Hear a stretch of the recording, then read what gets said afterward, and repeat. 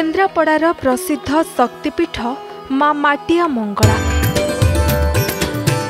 ବୁଢ଼ା ଶଙ୍ଖାରୀ ହାତରୁ ଶଙ୍ଖା ପିନ୍ଧି ହୋଇଥିଲେ ଉଭା। ଭକ୍ତିଭାବ ନେଇ ମାଙ୍କୁ ଯିଏ ଯାହା ମାଗିଛି ତାର ମନସ୍କାମନା ପୂର୍ଣ୍ଣ ହୋଇଛି। କେନ୍ଦ୍ରାପଡ଼ା ଜିଲ୍ଲା ରାଜନଗର ବ୍ଲକ ଚାନ୍ଦି ବାଉଁଶମୂଳ ପଞ୍ଚାୟତ ବାରଗାଁର ଅଧିଷ୍ଠାତ୍ରୀ ଦେବୀ ଭାବରେ ମା ମାଟିଆ ମଙ୍ଗଳା ପୂଜା ପାଉଛନ୍ତି। ବ୍ରାହ୍ମଣୀ ଓ ଖରସ୍ରୋତା ନଦୀର ସଙ୍ଗମ ସ୍ଥଳୀ ନିକଟରେ ମାଙ୍କ ମନ୍ଦିର ରହିଛି। ପୂର୍ବରୁ ମା ମାଟି ଘରେ ପୂଜା ପାଉଥିବା ବେଳେ ଏବେ ବର୍ଣ୍ଣାଢ୍ୟ ମନ୍ଦିରରେ ମାଙ୍କୁ ପୂଜାର୍ଚ୍ଚନା କରାଯାଉଛି।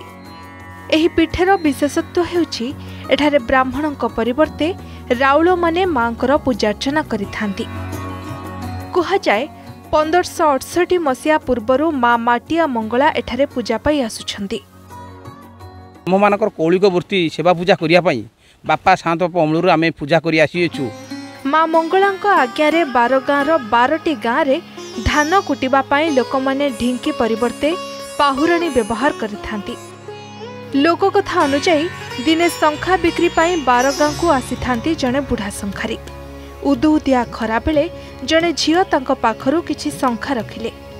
ଶଙ୍ଖାରୀ ପାଉଣା ମାଗିବାରୁ ସେ କହିଲେ ଏହି ଗାଁ ଶେଷ ମୁଣ୍ଡରେ ଶ୍ରୀମନ୍ତ ରାଉଳଙ୍କ ଘର। ସେ ତାଙ୍କ ବାପା। ତାଙ୍କ ପାଖରୁ କଉଡ଼ି ନେଇଯିବ।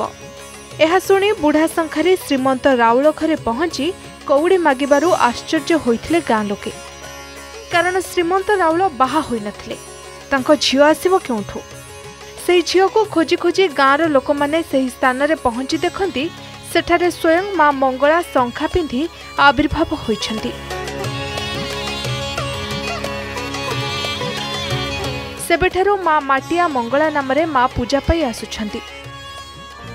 ଇତିହାସ କହେ ତେରଶହ ତିରିଶ ମସିହାରୁ କନିକା ରାଜା ଭଞ୍ଜଦେବଙ୍କ ବଂଶ ମାଙ୍କ ପୂଜା ଓ ନୀତିକାନ୍ତି ପାଇଁ ଯେଉଁ ଭୂ ସମ୍ପତ୍ତି ଦାନ କରିଥିଲେ ଏବେ ତାହା ନଦୀ ଗର୍ଭରେ। ପ୍ରତିଦିନ ମାଙ୍କ ପୀଠକୁ ଓଡ଼ିଶାର କୋଣ ଅନୁକୋଣରୁ ଛୁଟି ଆସିଥାନ୍ତି ଶ୍ରଦ୍ଧାଳୁ। ବିଷୁବ ସଂକ୍ରାନ୍ତି ଦିନ ଏହି ପୀଠରେ ଲକ୍ଷ ଲକ୍ଷ ଭକ୍ତଙ୍କ ସମାଗମ ହୋଇଥାଏ। ମାଙ୍କ ପୀଠରେ ସକାଳ ଭୋଗ ସହ ମଧ୍ୟାହ୍ନରେ କ୍ଷୀରି ଖେଚୁଡ଼ି ଓ ଆମିଷ ଭୋଗ ମାଙ୍କ ପାଖରେ ଲାଗି ହୁଏ। ପ୍ରତ୍ୟେକ ମଙ୍ଗଳବାର ଦିନ ମାଙ୍କୁ ପୋଡ଼ପିଠା ଭୋଗ କରାଯାଏ। ପ୍ରଥମାଷ୍ଟମୀରେ ମା ନୂଆ ଲୁଗା ପିନ୍ଧି ପଢ଼ୁଆଁ ହୋଇଥାନ୍ତି।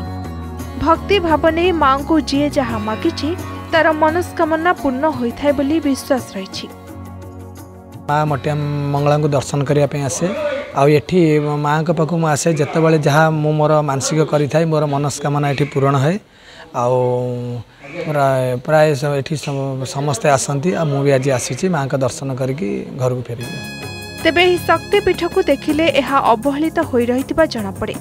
ଜାତୀୟ ଉଦ୍ୟାନ ଭିତରକନିକାକୁ ସଂଯୋଗ କରୁଥିବା ମୁଖ୍ୟ ରାସ୍ତାର ପାର୍ଶ୍ୱରେ ଅବସ୍ଥାପିତ ଏହି ଶକ୍ତିପୀଠକୁ ପର୍ଯ୍ୟଟନ ସ୍ଥଳୀର ମାନ୍ୟତା ଦେଲେ ଏହାର ଭିତ୍ତିଭୂମି ଆହୁରି ବିକଶିତ ହୋଇପାରିବ ବୋଲି ବୁଦ୍ଧିଜୀବୀମାନେ ମତ ଦେଇଛନ୍ତି।